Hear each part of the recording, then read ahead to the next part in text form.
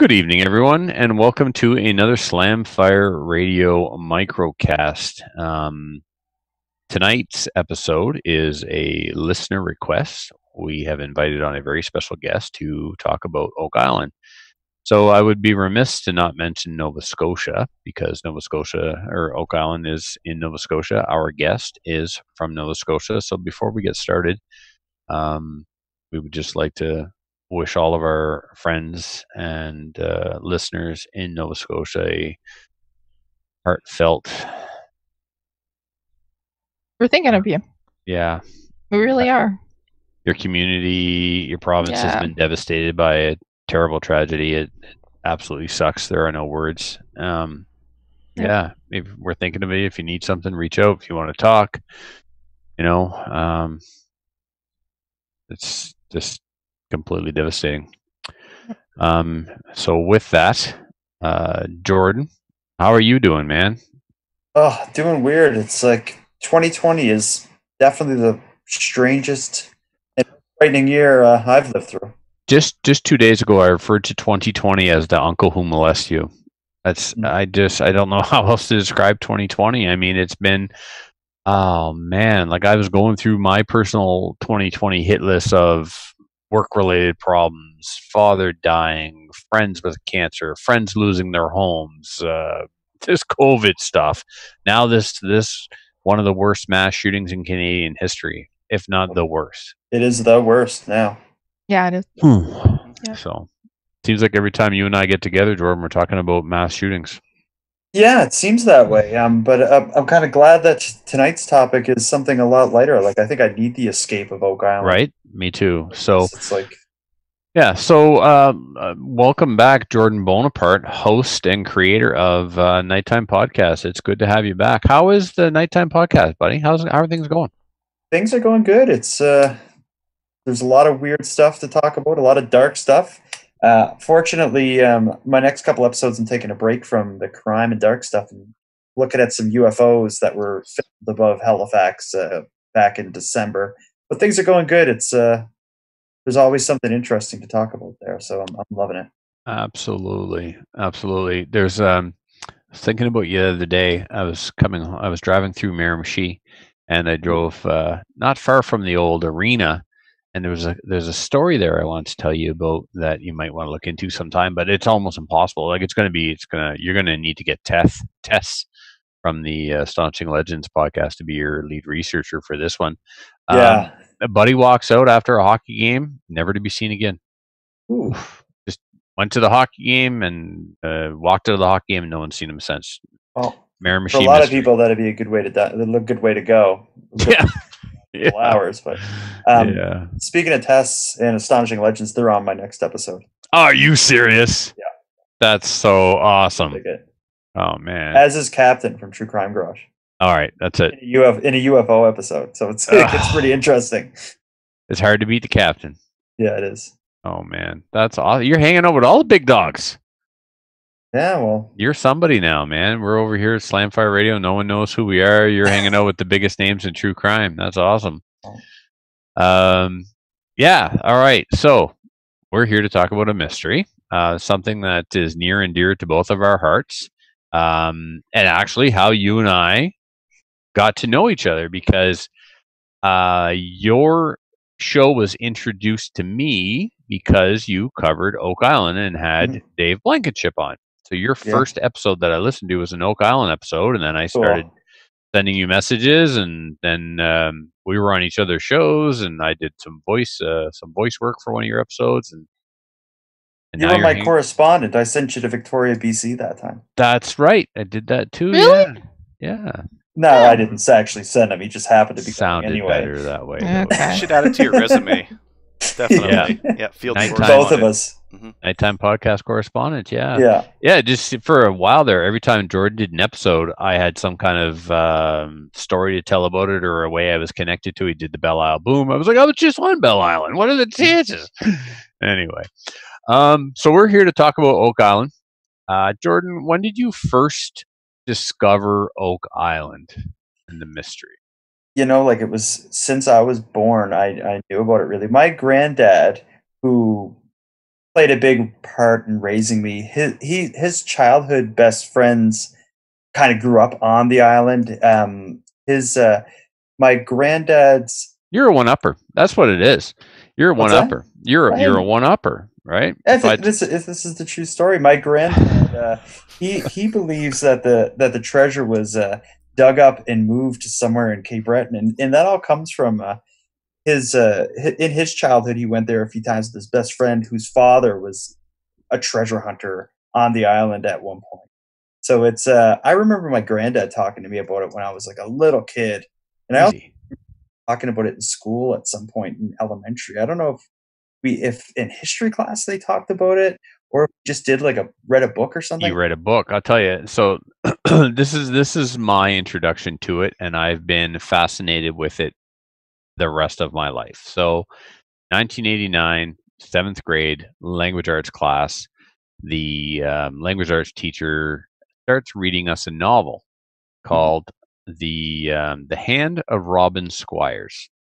So this is a story about a young boy who follows his father from England to a small island off the coast of Nova Scotia. Of course, at the time that the teacher is reading us this story about a young boy on an adventure and pirate treasure and all these cool adventures like you know this is before the internet when you still have an imagination and pirates you know are a thing that are real and the the notion of pirate treasure is real and you live on the ocean and so mm-hmm. pirates were out there once upon a time and there could be treasure somewhere out there and your imagination is running wild.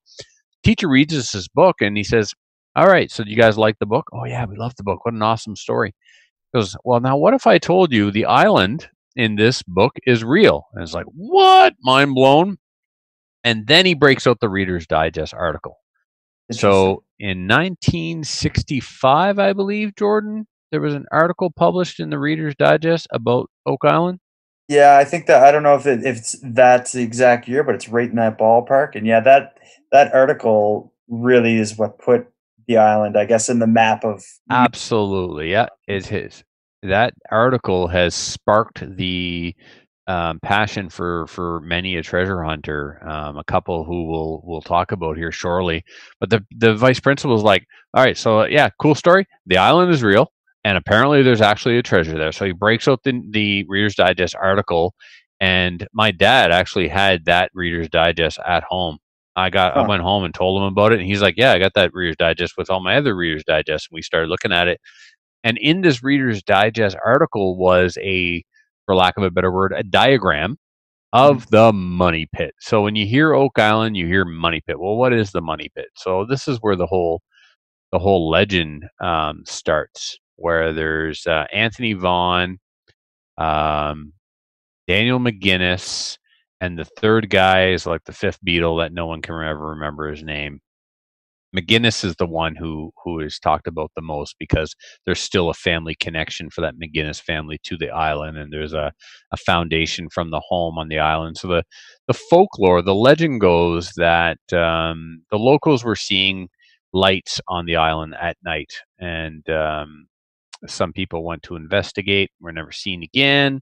A couple of years later, the uh, the three boys get dory and they cross over onto the island and they go around the backside of the island and they come to a clearing in the woods and in this clearing is an oak tree and there's a limb on the oak tree that is sawn off and they can tell that something was hung from this limb once upon a time. One version of the story claims that there's still a rope and tackle there or a tackle block hanging from the limb which would be the stupidest thing in the world. It's like dig here there's a tackle block and rope marks on the tree. Oh, and look at that. There's a depression in the ground. Yeah. All of this is legend.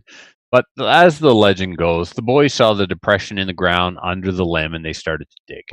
They got down 10 feet and they struck a layer of oak uh, logs, a platform of oak logs.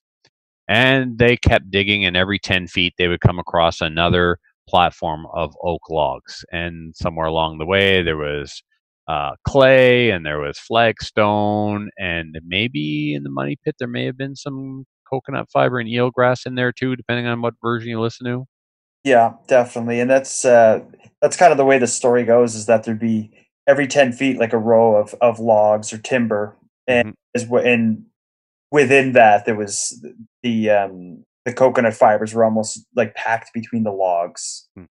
uh, as you got further down at greater depth. So they got to as far as they could get by themselves, and they needed to get some more help. And then, you know, eventually, um, years go by. Not too too long after, they get down to whether it's these three guys or one of the first treasure hunting companies that was formed. They get down to the ninety foot area, ninety foot level. They're down in this hole, ninety feet deep. And um, if you believe the story, a stone is found, and it's referred to as the 90 foot stone. And this stone was brought up, and there was an inscription on it. And the inscription was translated by a professor at Dalhousie University, and it read 40 feet below, two, 2 million pounds are buried. Mhm.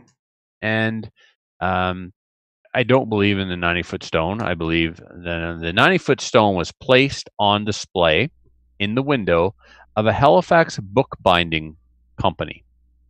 The stone is remarkably similar to the type of stone that is used for binding books. There's a very popular theory that the stone was a fake and it was just simply placed in the window of the Halifax book binding company to draw attention to the island so that they could sell shares in the business to raise more money to continue to um, bury or dig for, for the buried treasure.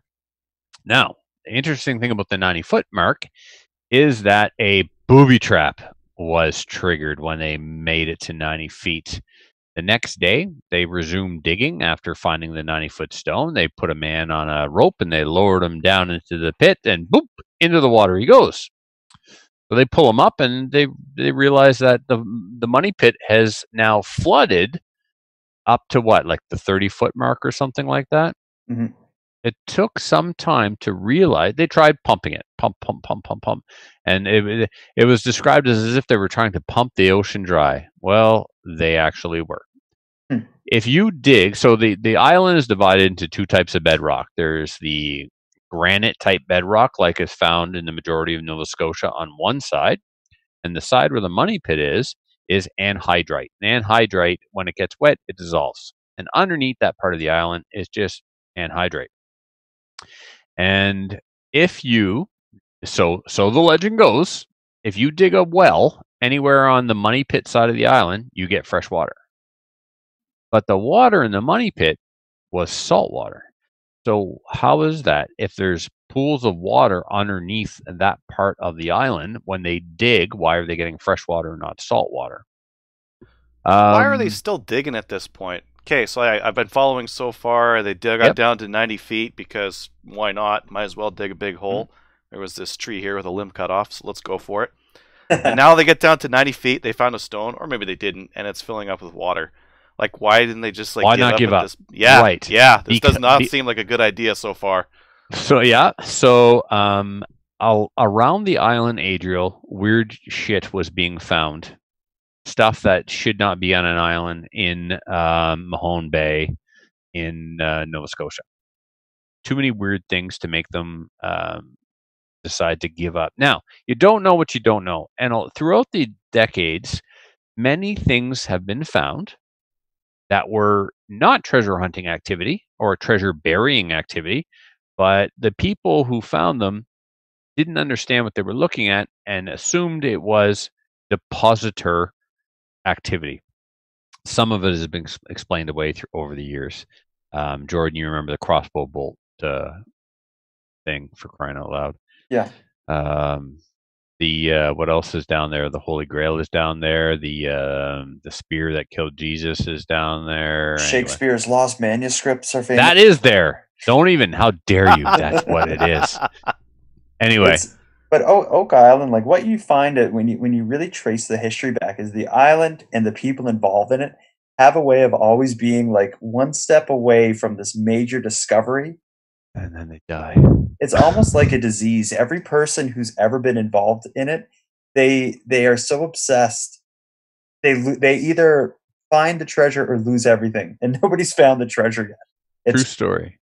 some people they say it's a money pit because maybe there's you know money and million pounds of gold at the bottom of it, or Right. money pit because the amount of companies that were built up, Uh, heavily invested in, and just Yep. spent everything. Well, they say it's Captain Kidd's treasure and Blackbeard's treasure and everybody who came up from the invasion down in um, Cuba and That's definitely those areas then come up, right? And they came up to um, quote unquote Canada. Yeah. Um, and let's save let's save the theories uh, Okay. beat around what we think it is after we we cover the history a bit more. okay. Um, so Adriel, at this point, why did they keep going? Well, another company, I believe it was the Onslow company, they set up a drill, and they drilled down to a. Uh, they might have gone to 240, and this is where the diagram in the Oka and the uh, Reader's Digest article comes from. They basically have drawn a diagram describing what this treasure company um, described that they drilled through. So the drill passed through different layers of things. Then eventually it, it went into what they described as a, a vault. And then it went through a layer of oak and then loose metal and another layer of oak and then loose metal, then another layer of oak, and then it like hit something solid. When they brought the drill bit up a couple of different times, things were found on the drill bit. Apparently, um, the two most intriguing things that are recorded and only one of them still exists today. But the fact that that thing exists has what's kept my interest this entire time because it's we have it like it, it exists. It, it was in Dan Blankenship's basement every time I was on the island. Two things: one, three gold links like a chain from a watch or something were found on a drill bit. That's gone. No one knows where that is. So did that even exist? Who knows? But Another thing that was found on the auger was this small little speck of something that caught someone's attention. It's like, that doesn't look like dirt. It was about the size of a pea. It was parchment. And when it was unrolled, the letters V and I were clearly visible on the parchment. Okay. What is that doing underground on Oak Island? And this whole, this is what has led to the Shakespeare's uh, thing, but we'll come to that later. So uh, what else, Jordan? After this, we we got a bunch of people who died. Uh, well, yeah, and, and just the the part about that you, you mentioned the Onslow company, like what was happening at this point is people would start a company and basically sell the mystery and find invested investors so they can get money to continue to dig. So Mhm. early history of this digging in in Oak Island story is all these companies being started and not having the technology to really dig down deep. So there's a whole series of that. And I guess that's kind of almost like Oak Island prehistory, but mhm. Oak Island story really starts with with the Restalls. the Restalls, and then um, before the uh, Triton group. Yeah, well, the Restalls was basically it was um it's the beginning of the modern, the modern like era. the modern age. He was like a stuntman. I think he was an American stuntman. yeah, him and his wife used to do the motorcycles in the cage. Yeah, and he, he he bought I don't know if he bought the island or or a part of the island that contained the money pit. And he started doing digging and living on the island and, and kind of becoming a bit of like kind of like a rock star for what he was doing. Like I saw a lot of photos of him, you know, down in the dirt digging and whatnot. And people talk about the Restall tragedy, which is basically when he went to the island digging. I think this was in the early '60s hmm he um he he was there with his wife and his children and they had some employees who were helping them dig and there ended up being the the first of several not the first the Not the first. This, there was two. Two died before this. One guy yeah they i don't know who he is. lost to history. One well the first one's name is lost to history. The next one that died when the pump blew up they have his name. Yeah but with the restalls it was basically almost his whole family had had died. It they don't know exactly what had happened but it sounds like he uh, was overcome by toxic gas or toxic fumes. I've heard two theories on this but yeah so they're down in the they're down in the pit and he passes out.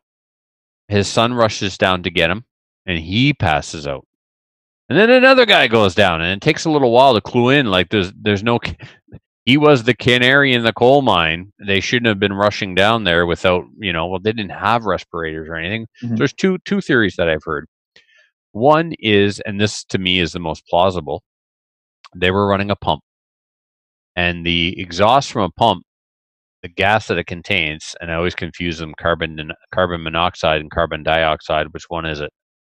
Carbon monoxide. Carbon monoxide. So it's very heavy. So it goes down, not up. So the carbon monoxide from the exhaust fumes from the pump that was right next to the shaft were going down into the shaft and polluting the air down there. Um, the other one was that they thought it was a natural gas within the earth that was released from the digging. Well, they've been digging down there often and hadn't been overcome.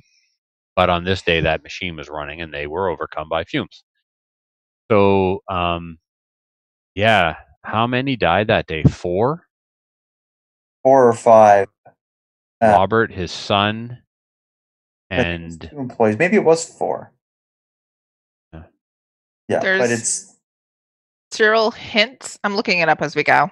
Okay. Andy Andy Dumont as well. Also, Cyril, Andy, and then and then and Robert, Robert and his son. Son, yeah. yeah, 18 year old son. Okay. Um, yeah, they really they uh, uh, the son kept journals. All of this has been brought to the current owners of the island. They were really good stewards of the island. The next guy, though, they wanted the locals wanted him off. A lot of people were not happy with the next guy. The next guy was uh, um, Robert Dunfield. Dunfield. His plan is the same as the same is, is the first plan that I came up with was to do what Dan Blankenship did, and I didn't even realize that he had done this. I found out about it later on as an adult. I'm like, if it's flooded, just put a big pipe around it, keep the water out, and that's what he tried to do. But he didn't. Dan didn't do that, at, and we'll talk about 10, 10x later. Anyway, Dunfield. Dunfield's approach was my approach: flatten it, flatten the whole thing, level the island down from the beach at sea level. Just don't dig down, stupid. Dig up. you know, just level the whole thing.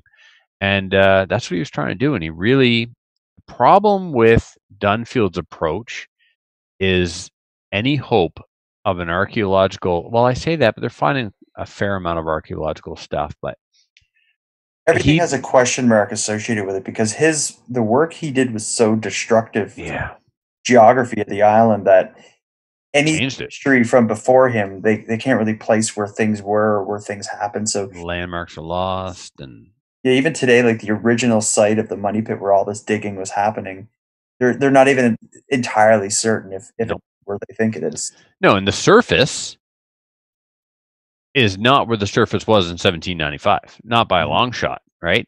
That whole area is unconsolidated earth now, right? It's just been tore up and repacked and tore up and repacked, and oh, You just got a cat out there and you just just push it all over just to see what he could find. yep. He Beyond started that too, yeah. you had the big um, I don't even know what they're called, but you can see photos of overhead aerial photos of Oak Island during his dig, and it looks like a war zone. There's holes everywhere. The whole thing is demolished. Sweet. Yep. He should have It found is- it then. He was the Mm. first one to bring in real heavy equipment. he built the causeway. Yeah, Yep. exactly. so that he could transport, like you said. Um, before that, everything had to be on a barge, right?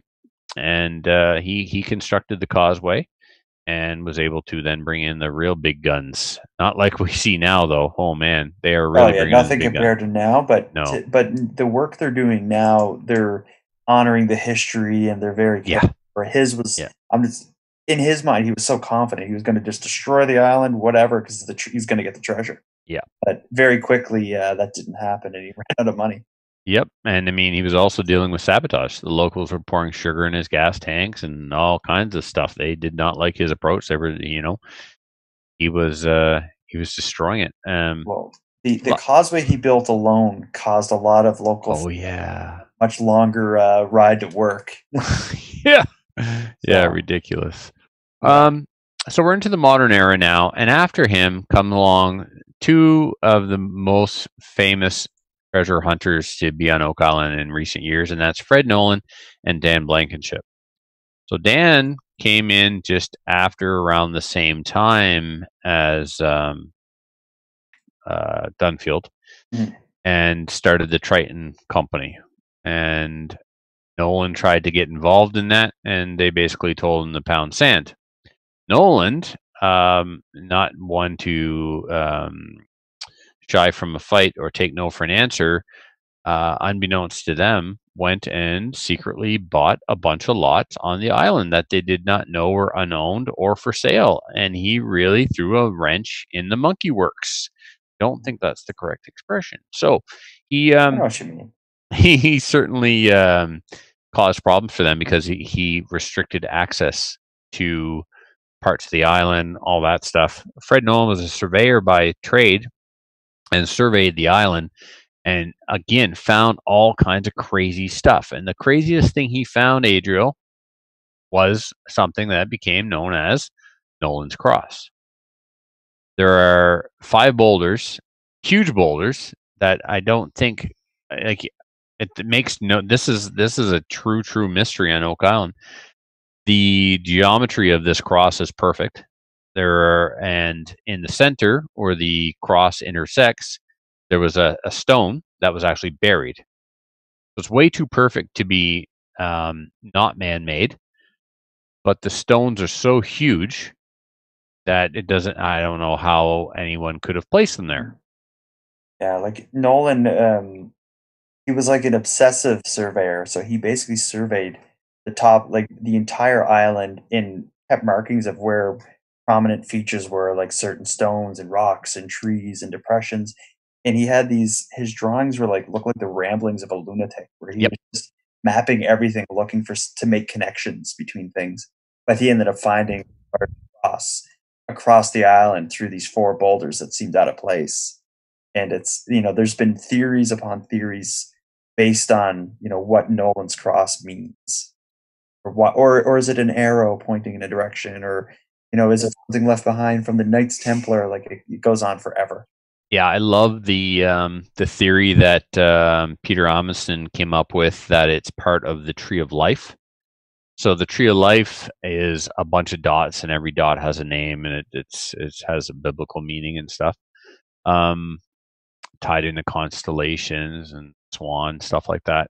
Uh, his movie, Petter Amundsen's movie, uh, Shakespeare: The Hidden Truth. What an incredible documentary! Um, Mm. absolutely amazing. And the, his theory is that uh, um, all Shakespeare's folios are a treasure map to the um, the treasure, King Solomon's treasure, and that it's on Oak Island.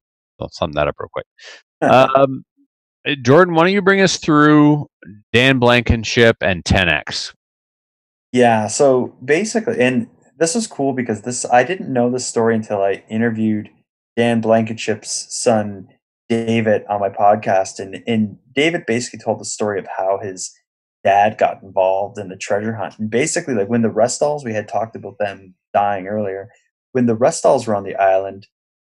This article was written in uh, in Reader's Digest that we talked about earlier, and it was centered a lot around the Restalls and this crazy, you know, group of circus performers that are digging for treasure and whatnot. But anyway, uh, Dan Blankenship, this guy from the U.S., um, had read the the article in Reader's Digest and kind of became obsessed and thought, I think, Contractor in Florida. yeah, contractor who had a special, like a specialty in like kind of metal fabrication and whatnot. And he thought, much like every other treasure hunter involved in this, he thought he had this like unique set of skills that he could maybe solve the mystery and dig down and get the treasure. So he decided basically to get like his son, who was like 16 or something at the time, and his lawyer and get in a car and drive to Nova Scotia to basically knock on the doors on Oak Island and see if they can get involved. Um, they went, met with the Restalls. The Restalls weren't interested in finding a partner or anything. So the Blankenship man, Dan, his son, and their lawyer basically turn around and they start driving back to uh, back to the U.S. And while on the way in a hotel, they um, they got a call basically saying like, "Did you hear what just happened on Oak Island? Like people you just met with, you know, a few days back, they're you know there was a, a tragedy, there was an accident, they're all dead."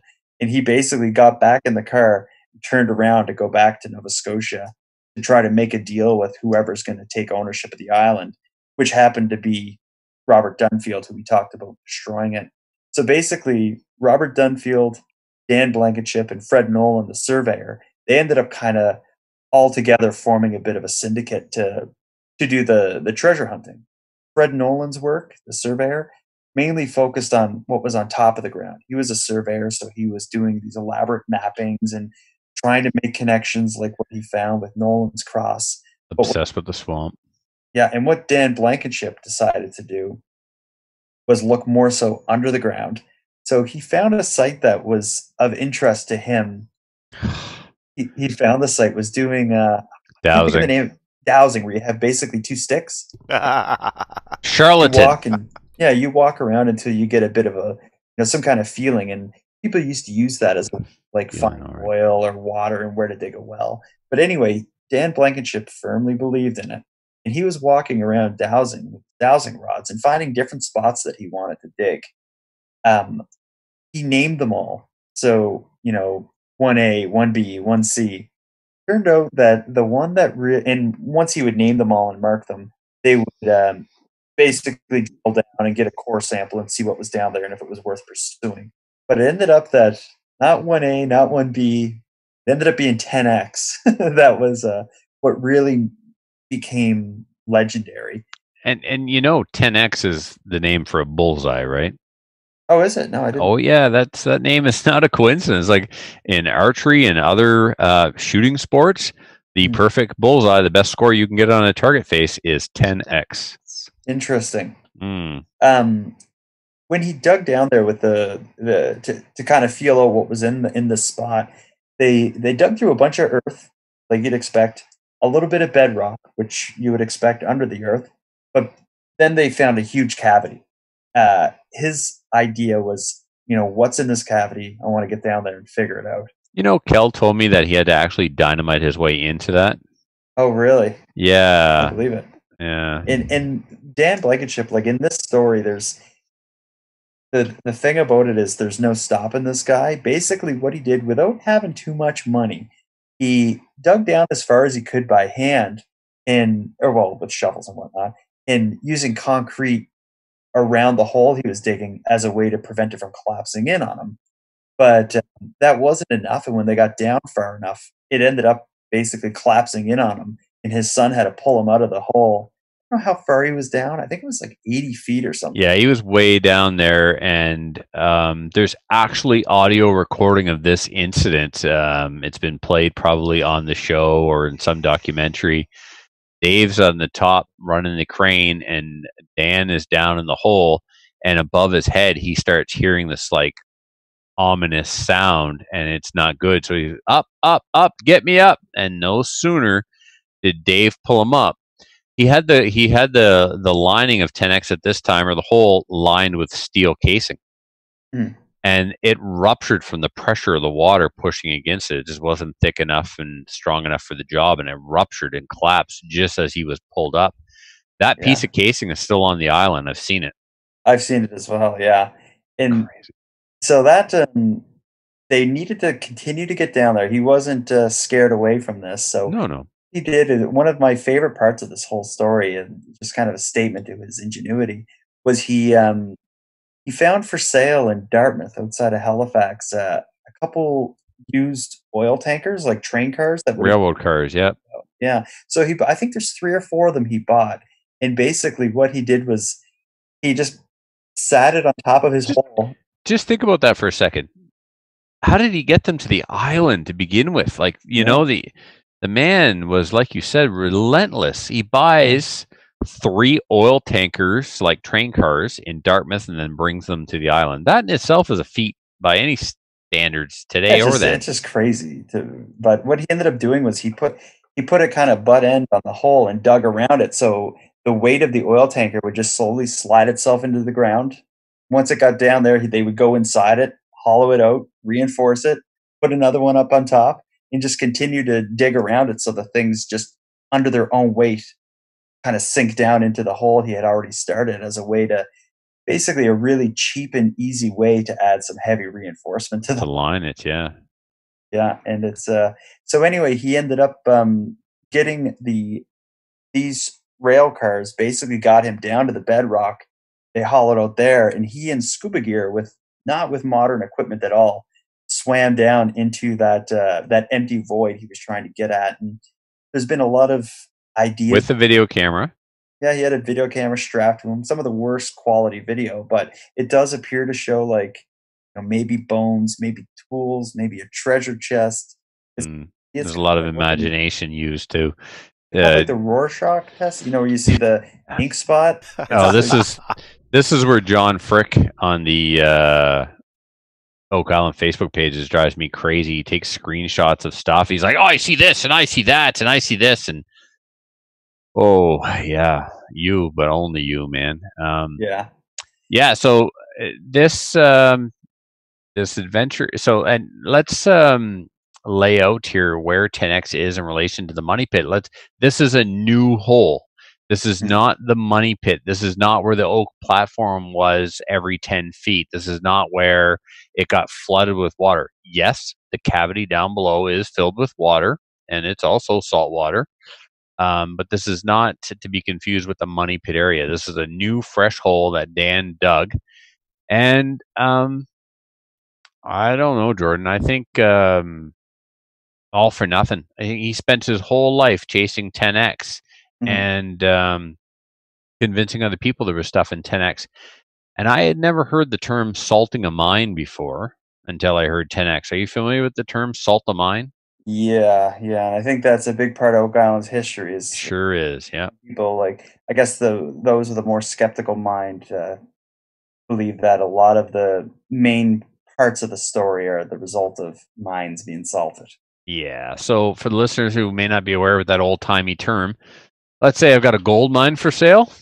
Well, ain't no point in selling the gold mine doesn't produce gold, so I'll plant some gold in it for the buyer to find. So and then, well, uh, it's a productive gold mine. Let's buy it. And uh, yeah, so Dan made lots and lots of claims about 10x, and um, talk about some of the things that he claimed to have pulled out of 10x. Would you?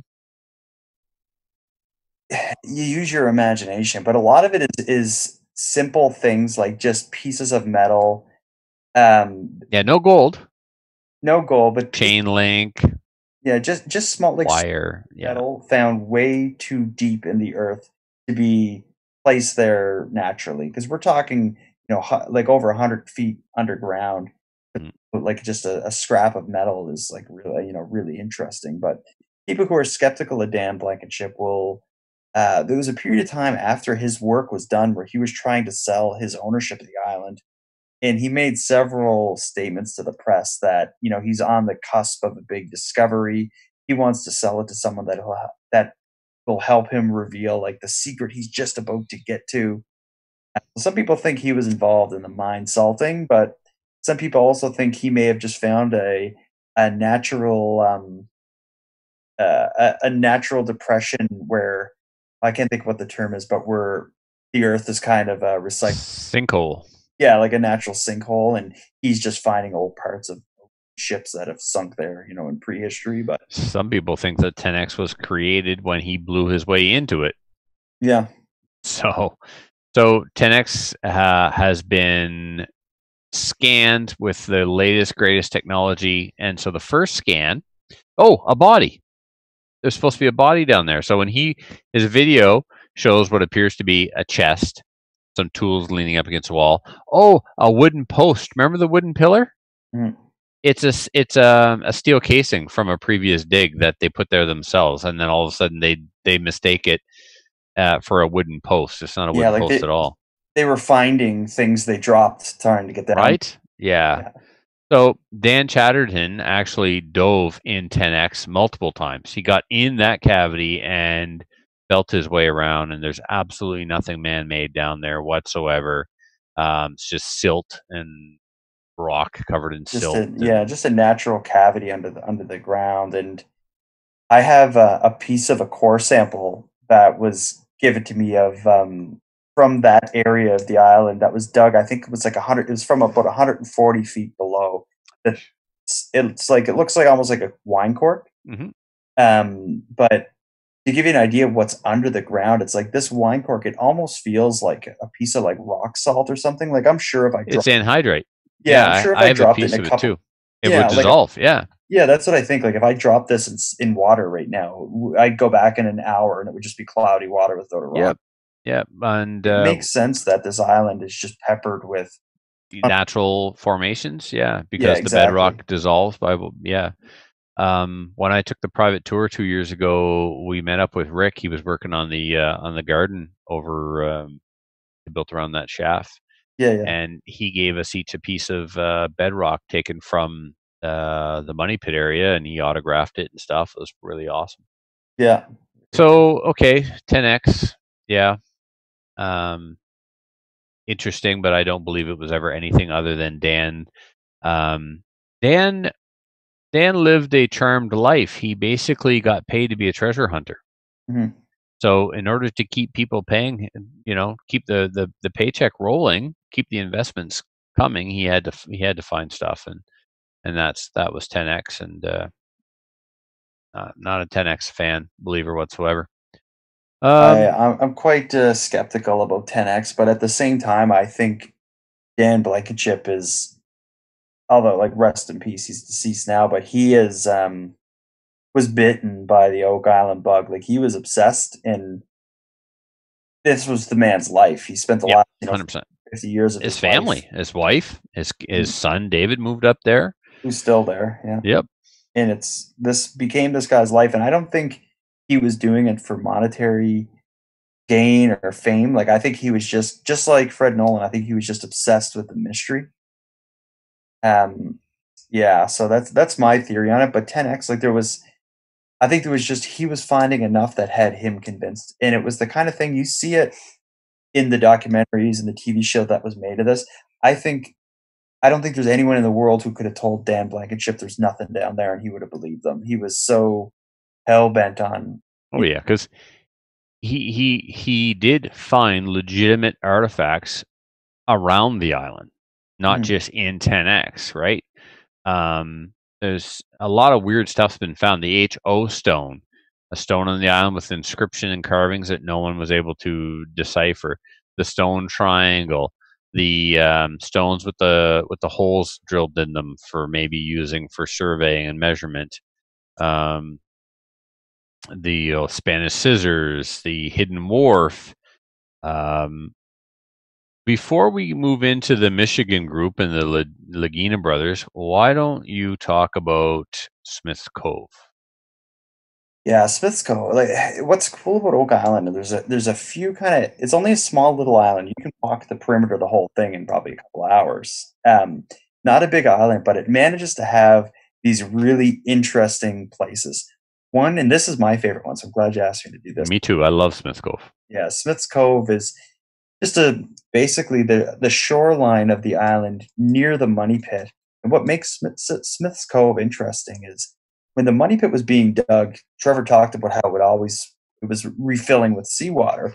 Kind of the theory was that whoever booby trapped it and designed it as a way to hide the treasure and whatnot, they must have had tunnels kind of dug from the spot where the treasure was, extending out underground to the sea, so that way water could you know, flow through these tunnels or drains and go to the underneath the money pit and you know and flood the thing to keep people from finding the treasure.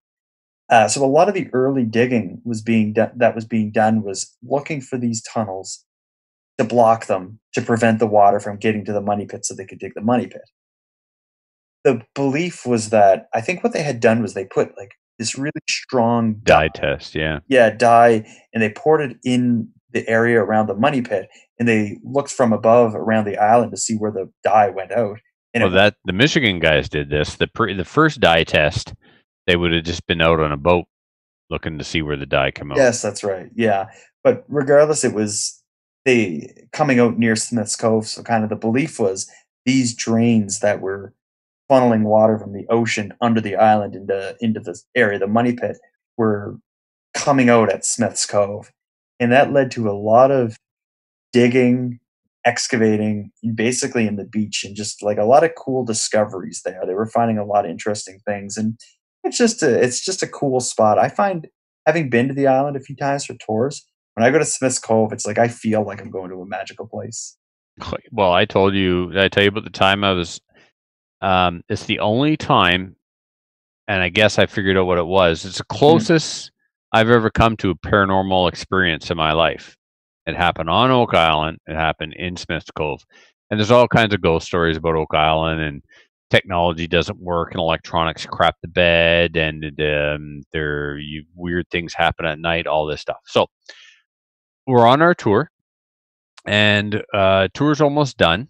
Um, we're with Charles. It's a private tour. Charles has another tour coming up. And when he brought us to Smith's Cove, he was like, Don't look down there. You don't see that stuff. This was the cofferdam going in.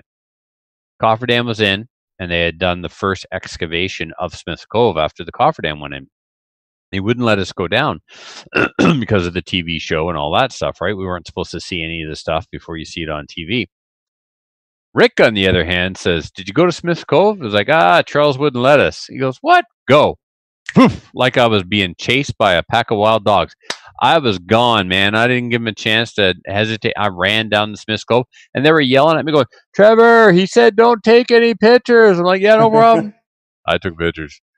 Yeah, I've, I've Anyway. taken a couple of handfuls of rocks from there too. I admit it. I get down there. I'm checking stuff out.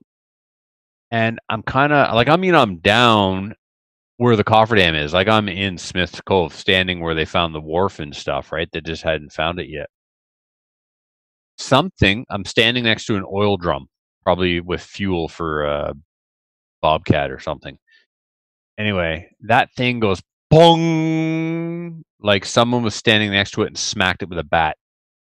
And I looked over and I was like, what the hell is that?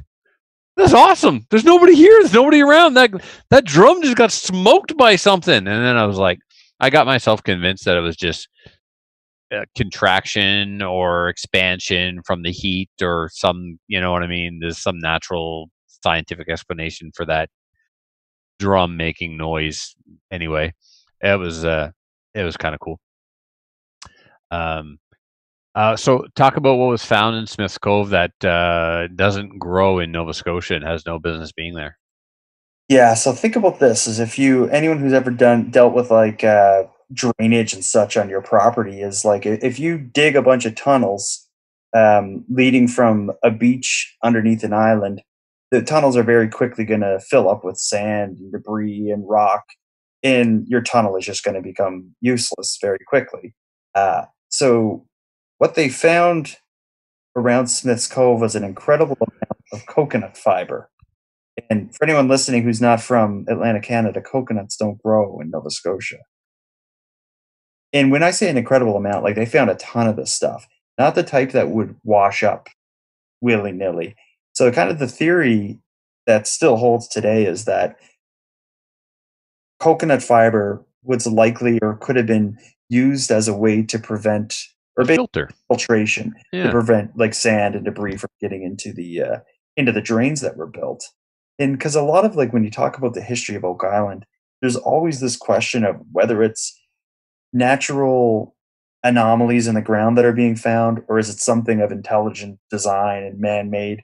So kind of the coconut fibers being used as filters for these drains speak to it being something man-made. And then, you know, if you agree that it's something man-made, why did man build this incredible thing? Or what were they hiding? And then that just, you know, sucks you into the uh, mystery.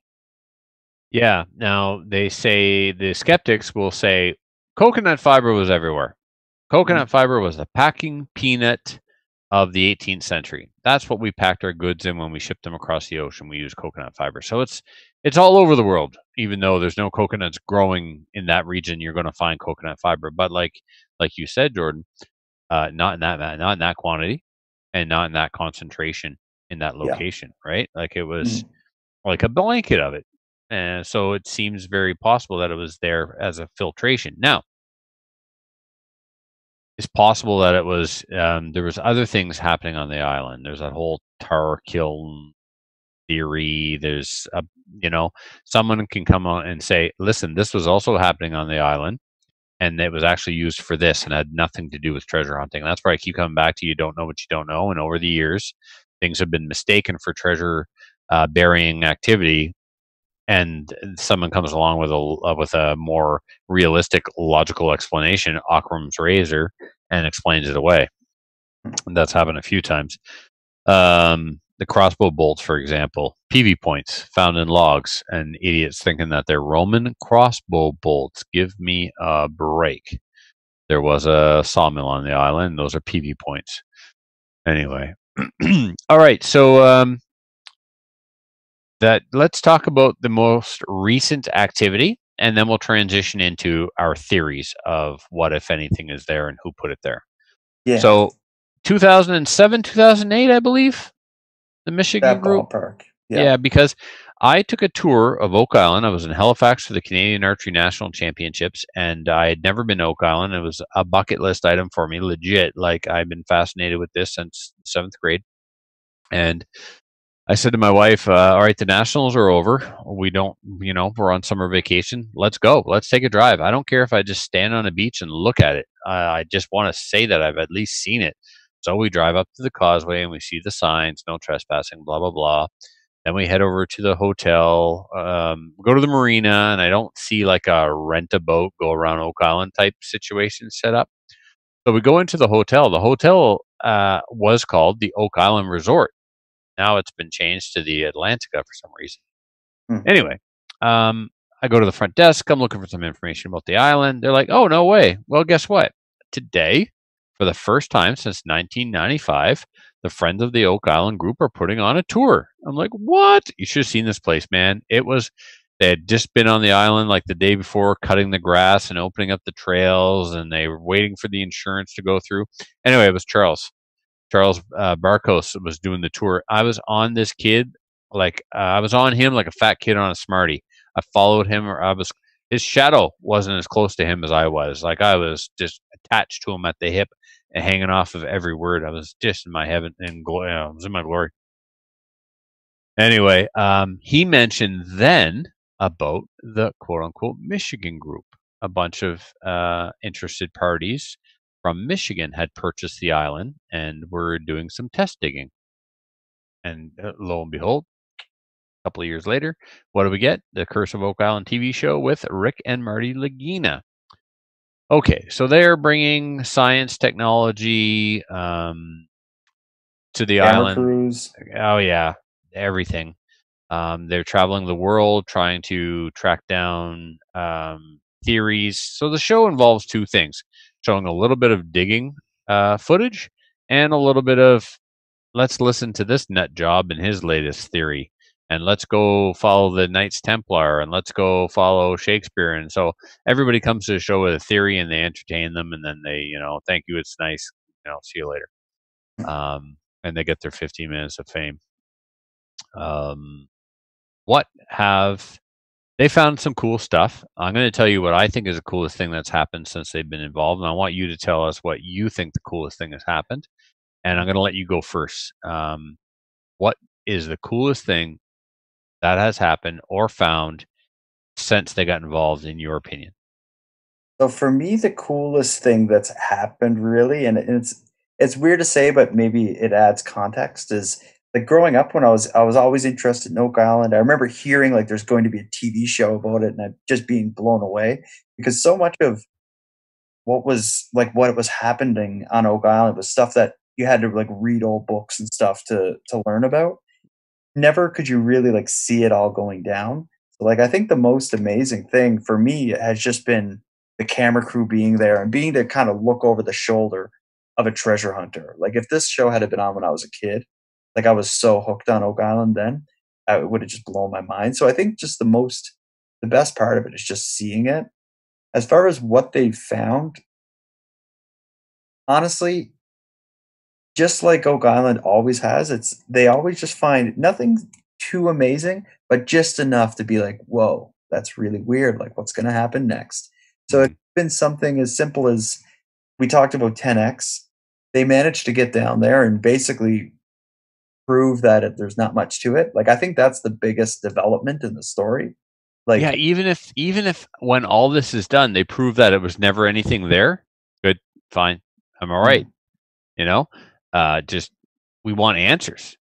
Yeah. and maybe it's a treasure. Maybe it's a treasure, and it's and it's been long since um, discovered and gone. Um, or maybe there was never anything there, and everything was just always mistaken for something it wasn't, and imaginations ran wild. I think like the, a lot of a lot of the stuff you guys are talking about just sounds like weird and coincidental. It doesn't sound like stuff that makes sense for like pirates to do.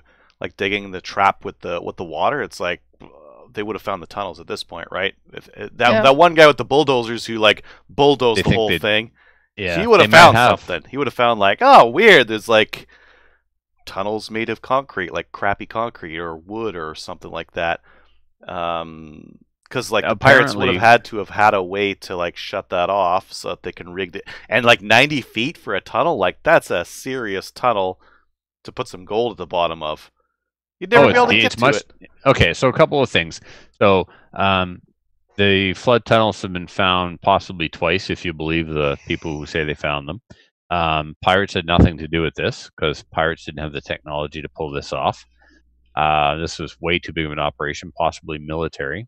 Aliens. about- Like you said, a, Aliens. obviously, obviously, same ones that built the pyramids.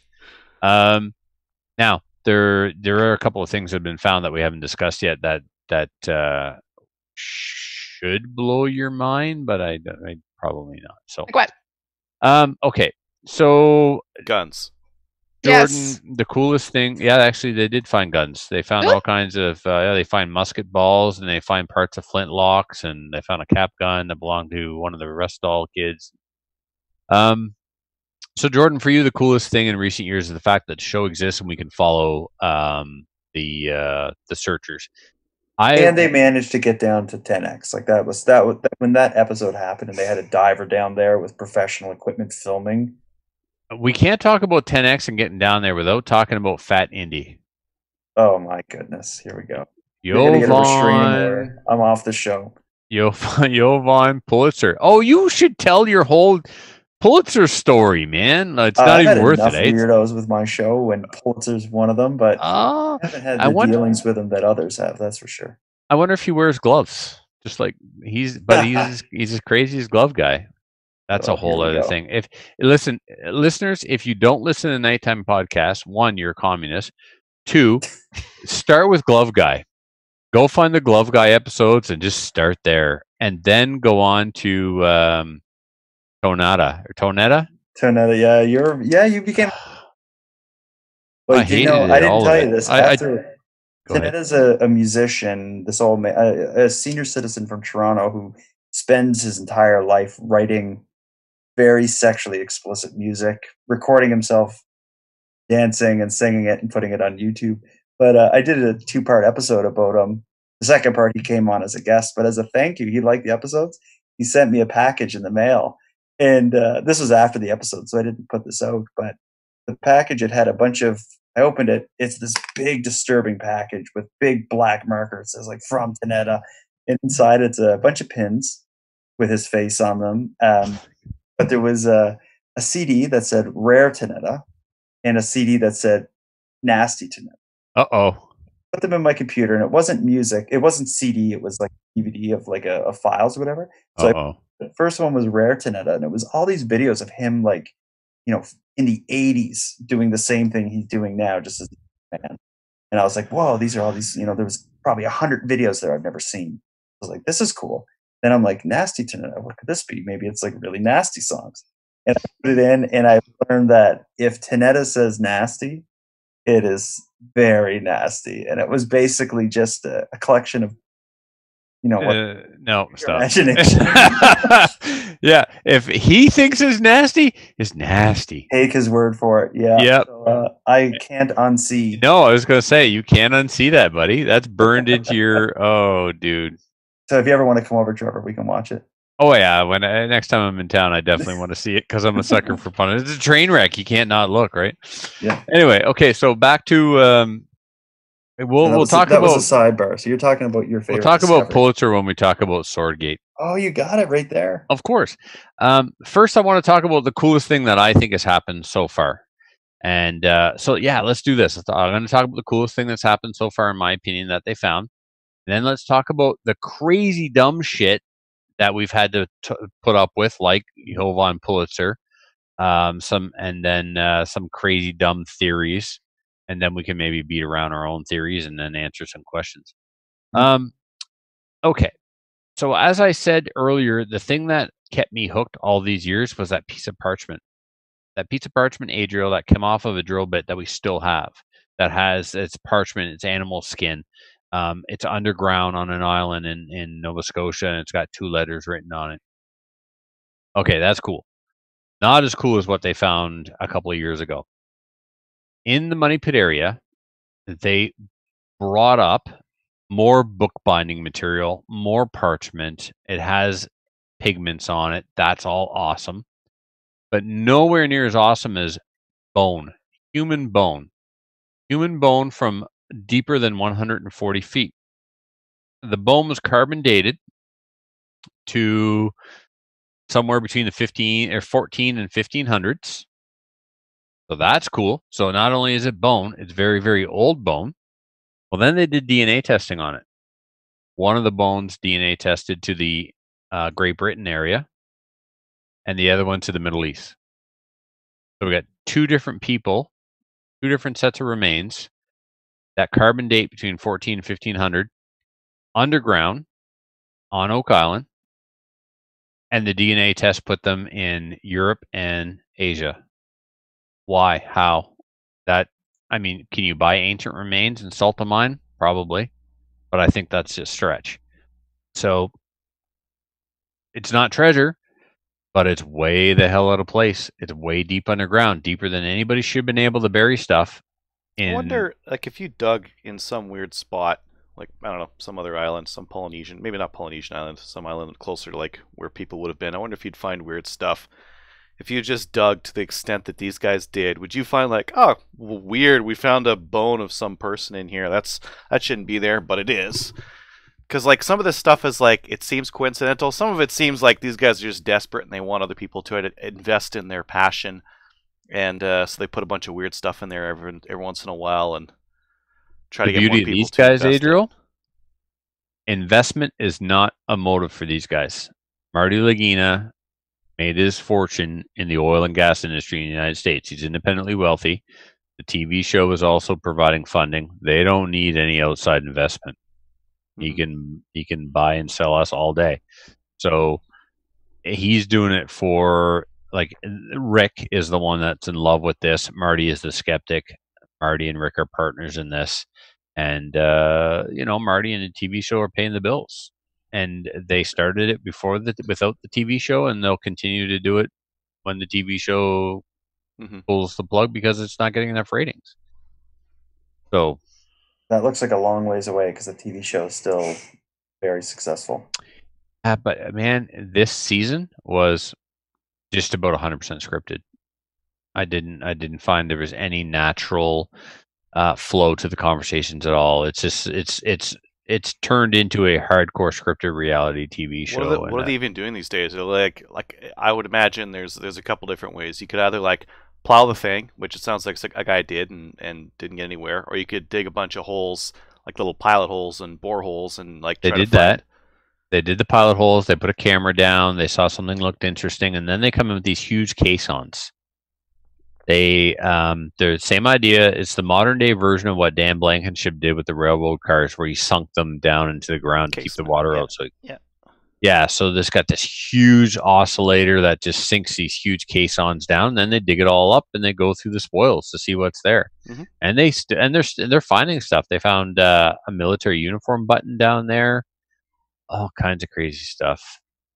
Hmm. Um, there's a Oak Island exhibit at the um, Natural History Museum in downtown Halifax with um, the this stuff that they have found on display there. Some really cool things. Plus, the museum, the uh, island itself has a museum. So, okay, so with the TV show comes special guests that come on and and do theories and you can't talk about the show without talking about the charlatan hustler scam artist um Jovan Pulitzer that's his new stage name what's his real name uh, Jordan I wouldn't dare even say it for fear of uh, legal recourse. oh I'll say it what the hell's that fat bastard's name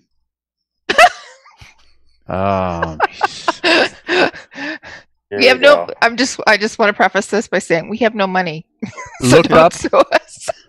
if you want so his uh, one of his first big follies was CueCat you look up the whole Oh, I CueCat heard book, that. right? I remember those This- things. Yeah. This is He the guy. it. Oh, really? Huh. This is the guy. He reinvented himself as a wannabe treasure hunter.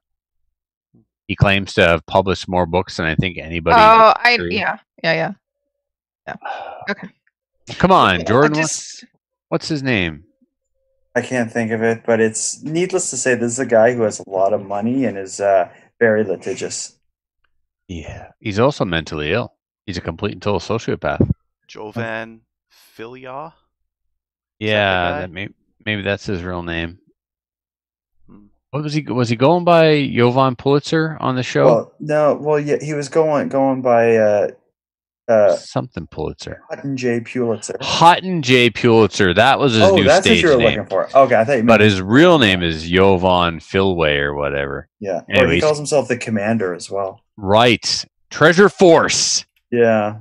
Oh man, he wanted his own TV show so bad. Um, So he bad. had I he had a lot of beef with show. He was on the show for a short amount of time. He was on the show for for a long time. Actually, he was on a ton of episodes. He spent like the whole summer on the island. He went to Kel's hmm. wedding. Wow. Yeah, crazy. Anyway, so him and Cal aren't friends. he, he's not friends with anybody. He's psycho. You can't be friends with him. He's psychotic. Anyway, he's on the island, and the island is approached. This is one of the most ridiculous things. It's really egg on the face for the show. But when I showed up with my sword, they they laughed it off.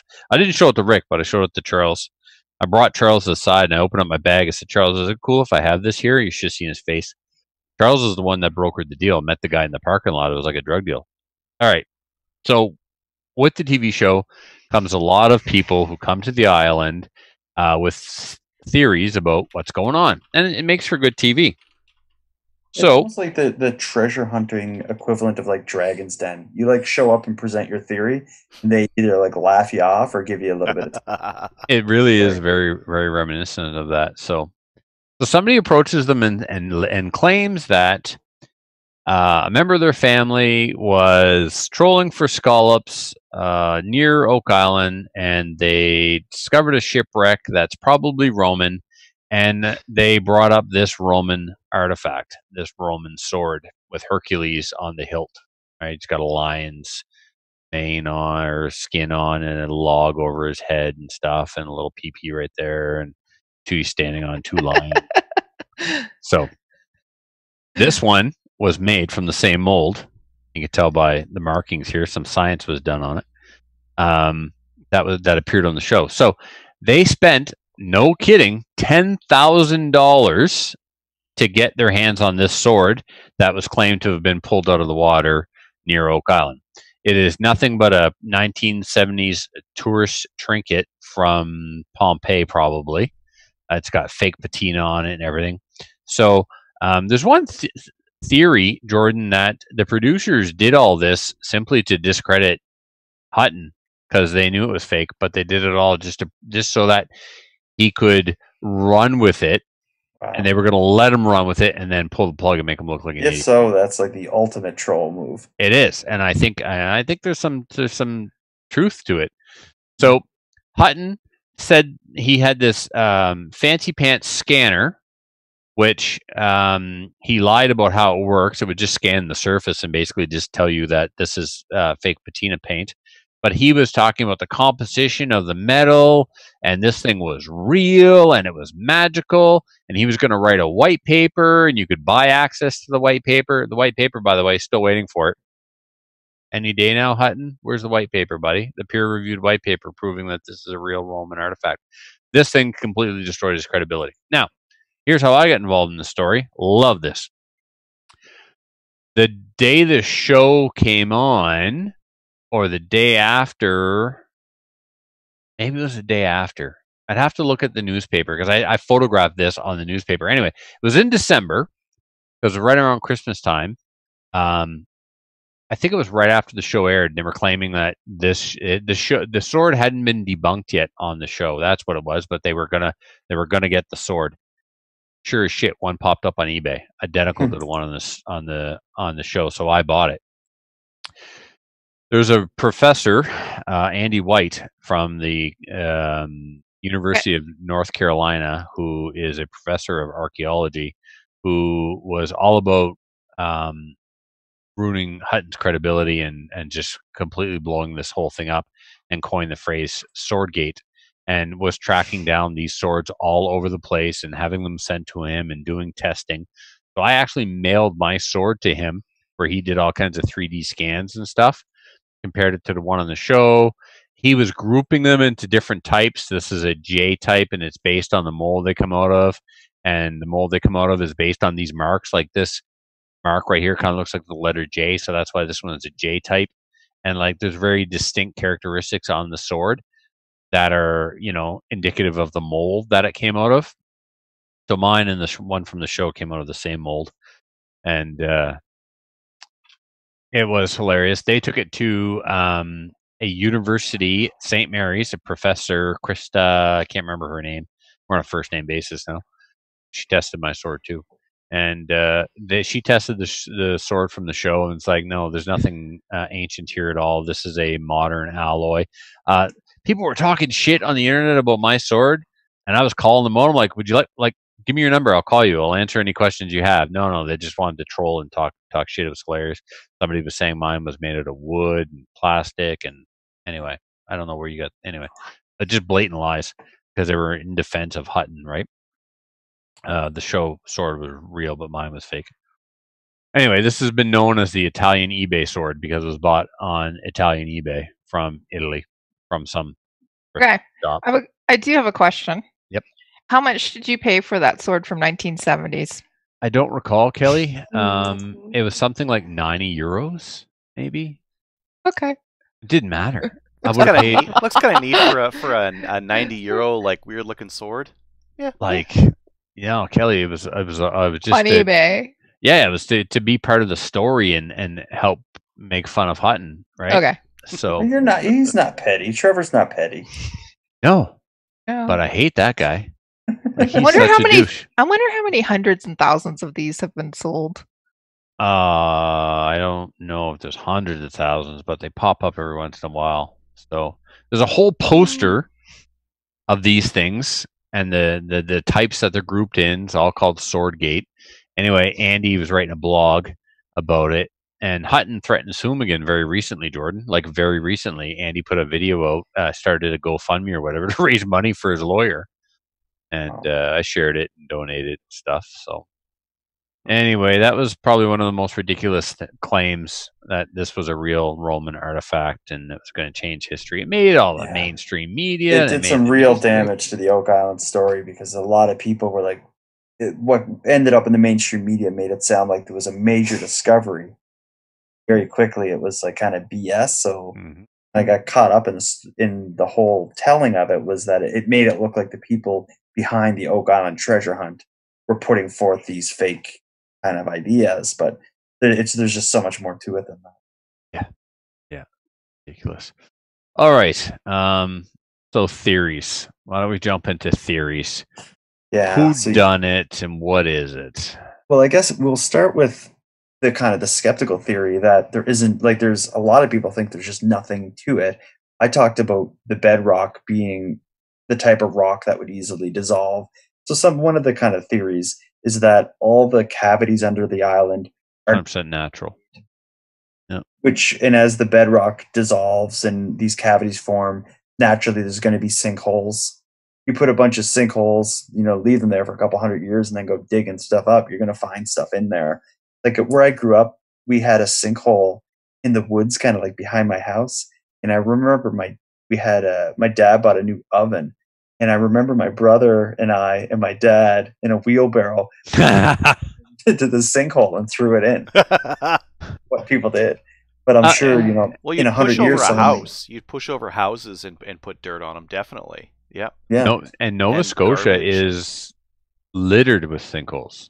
Especially this part of Nova Scotia where Oak Island is, that Mahone Bay area, that type of rock is just naturally causes a lot of it. So you put a bunch of sinkholes in an area with a history of fishing and boat building, you're going to find some weird stuff deep underground. So Mhm. first theory is that that's all it is and that there is no story. But that one's boring. Yeah, and then and then there's um, a theory that it was pirates. Mhm. Um, and that a lot of that comes from the fact that when you talk about you know the period of time in the you know the earth, early 1900s late 1800s when some of the early days of the treasure hunting was happening that was an area with like captain kidd and all this stuff was like big in fiction and storytelling. So naturally, that kind of found its way. Yeah, because this. there's there's a um, Captain Kidd book that has a treasure map in it, and the island is shaped like Oak Island. So that that's the Captain Kidd connection there. Um, some people think it's the Spanish. Mhm. Um, now there's the whole Knights Templar connection with the um, Shakespeare. It's, it's like the, the mystery has found its way to reinvent itself, but with the flavor of the era. So back in the day when, you know, um, pirates are a big thing, that was all the theories were involving pirates and booty and treasure and treasure maps and all this. Now it's a lot of it is a, a, around, you know, the, the Spanish, the Knights Templar, finding a way to, you know, move like the treasures of the, um, Catholic Church trying to hide them, and maybe they hid them in a small um, under a small island in Nova Scotia. And a part of that comes from the fact that if you believe that the money pit was man-made and these drains were man-made, thus the almost the entire island was man-made. It, it couldn't have been some pirates. It would have had to be some Right. major group, something like military or something funded by the Catholic Church. Um, and that's kind of where a lot of these theories come from. Um, one of the things that I've always wondered, Jordan, is if this was um, as large of a engineering undertaking as it would have been to construct a hole this deep, um, it would have taken an army. So either a legitimate army or an army of slaves, Mm. and they need to be fed. They need to be housed. There should be somewhere on the island evidence of an encampment they have found military evidence of military presence on the island. So that's um, an English, English for sure. Do you know if they found any other? They've there's been so many uh, connections to the French, English, Spanish, Portuguese, um, but nothing significant. Like it's it they're they're vague connections. It'll be like Pieces of uniform, musket, musket ball, lead for musket balls. yeah, but when you're talking about like an army of slaves finding, you know, let's say you you go to where the pyramids are built, you find these massive areas where they were living and stuff. Right, that's what there should be some kind of evidence of that. Now I know And it's a Uh, small island, so Dunfield did a lot of damage, but still, sh- you know, or you keep your slaves on your ship and you shuttle them back and forth every day. Mhm. Then you risk being seen. That's you know, when was this done, and and what was the um, life like on the mainland at the time? Mhm. I don't know. Kelly, but hmm any questions? are you going to invest, Kelly? Will you invest in Trevor and I are going to start a company and dig? No. Mhm. You're not convinced? No. I'm gonna go and buy my swords off of eBay. Uh, wha- what's you, Kelly? What do you think about? Honestly, Kelly, like, Do you I, honestly want to know what I think? hold on. First, let me ask you a question, and then you wanna can. know. Okay, go. What do you think about those bones coming out of the money pit area from that depth, below 140 feet, from that time period, and DNA to those areas? What are those? How do you explain those bones? Okay, so some. Okay, so uh, it's Nova Scotia, it's Halifax area. Um, indigenous people were there. That's part of it, but we also know that Cook, Cook landed on Nova Scotia in nine, in 1497 too, though, right? I don't know if that's like there.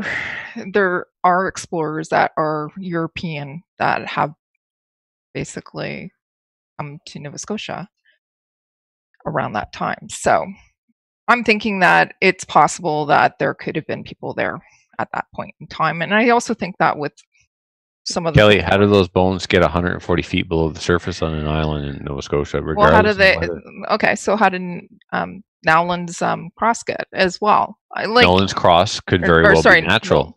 Could be natural or could be. But those bones aren't natural. How do you get bones 140 feet below the surface on an island in that time period? in that time period. Yeah, I you're talking the 1500s.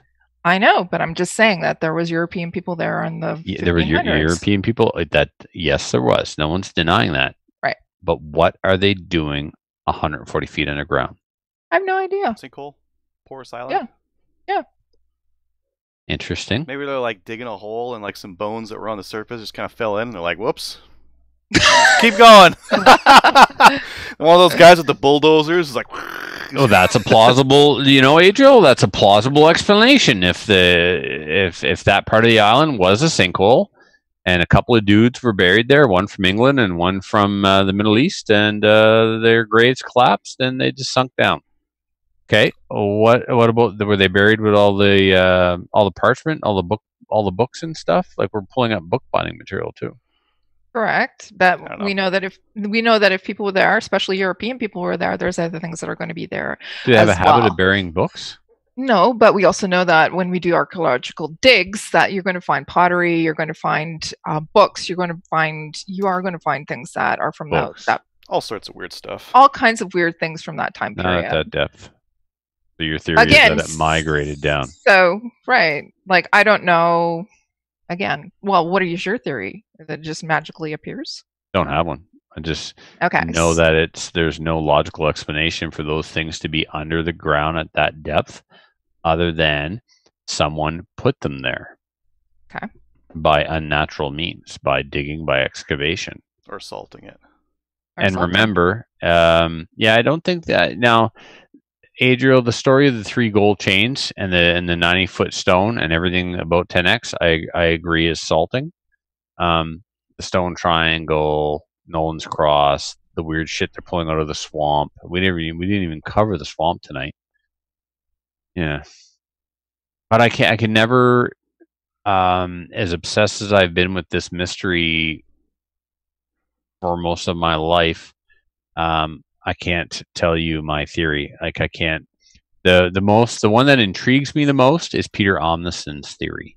Which is? Um that it's, it's very long complicated but basically shakespeare's folio is a treasure map and the treasure map leads to oak island and the um, menorah from king solomon's tomb is buried in the swamp on oak island that sum it up jordan pretty quick Uh, yeah, and you pretty much like to to fill in the blanks of how that all makes sense is like it's that would be its own episode of the show. Yeah.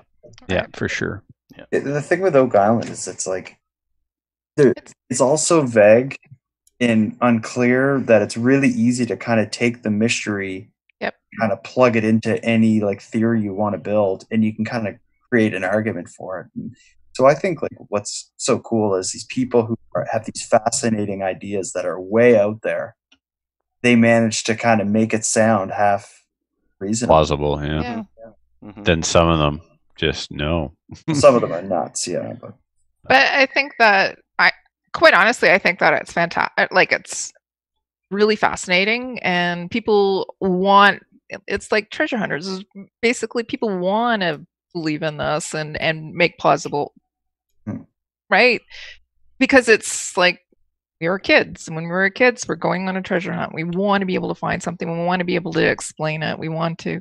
And if something does actually get found it's kind of like woo like I'm it's I'm rich, and there's going to be people that are going to continue to invest in that. And just like Trevor, you said, right, with uh, like a, a gold mine, right? People went out west because they thought that there was a gold mine. People are investing, people are digging uh, on Oak Island because they want to find something. They want to believe in that folklore that there's something there. And I mean, there's still some other stuff to, to discover out there. Right. So some of these things are still going to be true, and some of them are going to be worth going after. And then Right. so, uh, we'll get to a point where there's very few things to discover. it takes a lot of work, and you go to go for a lot of wild goose chases after this kind of stuff. Yeah, Gary Drayton's been all over that island with a metal detector, and he's found a lot of cool stuff. Um, no treasure, but a lot of cool stuff, and to, to speak to the history of the island, Yep. um, both you know just regular inhabitants and um, treasure hunting um, stuff. You know, evidence of of seekers. Um, Samuel Ball. We can't talk about Oak Island without talking about Samuel Ball. Samuel Ball was a uh, man who was granted his freedom from slavery for fighting for the British during the American War of uh, Independence. When the war was over, he um, fled to Canada and Mhm. became a cabbage farmer on Oak Island. He went from being a cabbage farmer on Oak Island, freed slave cabbage farmer on Oak Island, to one of the wealthiest men in Nova Scotia. One doesn't, and um, one doesn't become one of the wealthiest men in Nova Scotia by growing cabbage on Oak Island. So there's a lot of theories that he discovered part of the treasure, or maybe the treasure, Okay. because overnight he was rich. It's historical. It's documented. His uh, lot is a um, protected site. They need permits to do anything there. They actually Hmm. found a tag, like off of a piece of luggage or whatever, with his initials on it on his lot. That was pretty cool. But um, yeah, th- there's Doug Crowell um, is like the resident Oak Island historian. He started off as a fan, got to know the brothers. Now he's part of the team. Uh, a guy who I just knew on the internet, Scott Barlow. Uh, he's from Prince Edward Island. He almost hooked me up with a job on Oak Island. It was like Is- that close. He's on the sh- on the aisle and working and a part of the show now. So I wanted him to come on, but he he would even he would just to come on and talk. He would have to get the permission because of the non-disclosure agreements and stuff. Right. He suggested I reach out to Doug, but I know Doug's pretty busy. So Jordan, it was the you were the I'm third. happy to be your third. Yeah, thanks, man. You should have been my first. It just made more sense to have you on, actually. But yeah, that was really interesting listening to you guys talk about Yeah. it. Sounds like you're both super passionate about it, and uh, sounds like we'll only really scratch the surface of this too. yeah. I was supposed to go back for another private tour this year, but the person organizing it pulled the plug already. It's like it Pull the wasn't till- plug. yeah, it's not till Oh, you're not talking August about what happened last year. Oh, this year. I think meant this Yeah. year. last year. It Uh, turned la- out last year that there was uh, a fraud involving a, a person who was in charge of uh, Oh, tours and Yeah, that was bad. Hmm. very bad. Yeah, it didn't affect uh, my group of friends though, but I think it worked out for me because um, what ended up happening one time was I just sent an email being like, I had a friend coming into the town into the city and I wanted to go, so I wrote an email saying like, I'd like to get uh get on the island if there's any last minute tickets or anything. Um, let me know. And he sent me an email back saying, if you send me some money, transfer to my personal email, uh, I can get you the tickets. So I sent him the money and he sent me the tickets. So oh wow. Uh, normally that sounds greasy. Yeah. yeah. Well, at the time, it seemed compar- perfectly normal. I was like, wow, these guys are awesome. But then when I heard he was arrested and charged with fraud and all this other stuff, I was like, ooh, Hmm. wonder Yeah. where that money went. Yeah, exactly. Huh. Well, you got on the island. Yeah. There you go. That's good. All's well that ends well. and speaking of ending, we should wrap this up. I'd like to thank you once again for coming on Slamfire. Um, go ahead and uh, tell all of our listeners who uh, may not be aware where they can find the Nighttime Podcast. Um, yeah, it's it's basically wherever you find Slamfire Radio, I guess, on any podcast platform. Search for Nighttime. I cover Canadian crimes, mysteries, and weird and unique stories. So uh, search for Nighttime on the internet. Awesome. And uh, I, I tell you, it's it's an incredibly well produced show. It's polished. It's well researched. It's entertaining. It's informative. I look forward to every episode. Um, Awesome. And like I said, if ever you need another another raspy voice, let me know. You'll be back again. You've been on two episodes, I think. You've been on. So you were on Did the a bonus episode, no, you were you were the bonus episode about Emma Filipoff. Then you were on the episode for the Lindsay Souvannarath series where you're discussing the firearms used and right? And then my voice was That's on the um, Bernie Langell part Bern- two. You played yeah. a cop or something. the Yeah. military investigator or something. Yeah, yeah. Did you know there's a CBC documentary coming out about that? Wow. Yeah, they've been uh, for the last like eight months or so. They've been working with Bernie, and uh, That's crazy. yeah, it's going to be a full length documentary. Oh, nice. Pretty That's cool. awesome. Hmm, cool. All right. Well, let's wrap it up, guys. Um, Thanks for having me, everybody. Thank you, man. The pleasure is all ours, and uh, I'm sure we'll find a reason to do it again sometime. Anytime. Everybody else, we'll see you on Thursday.